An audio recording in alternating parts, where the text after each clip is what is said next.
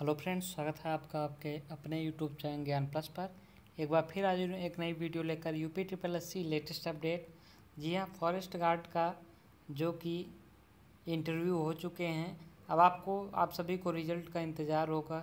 जी हाँ काफ़ी चला था इंटरव्यू, थोड़ा सा लंबा चला था, क्योंकि अभ्यर्थी भी इसमें पर्याप्त थे तो रिज़ल्ट इंटरव्यू ख़त्म हो चुके हैं पूरी तरह से। अब आप सभी को रिज़ल्ट का इंतज़ार होगा। तो हम आज आपको बताने जा रहे हैं कि आपका रिज़ल्ट कब तक आ सकता है।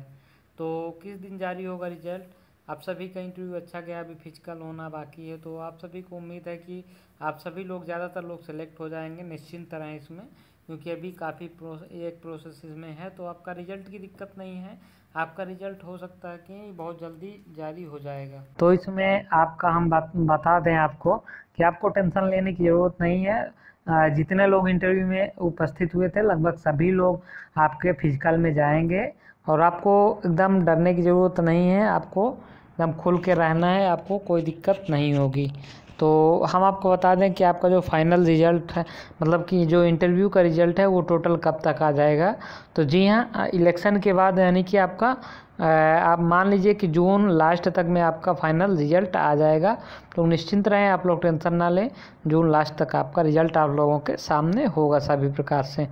तो ये रही खबर, उम्मीद है कि आपको पसंद आई वीडियो को लाइक चैनल को सब्सक्राइब करना मत भूलिएगा। Thank you thank you very much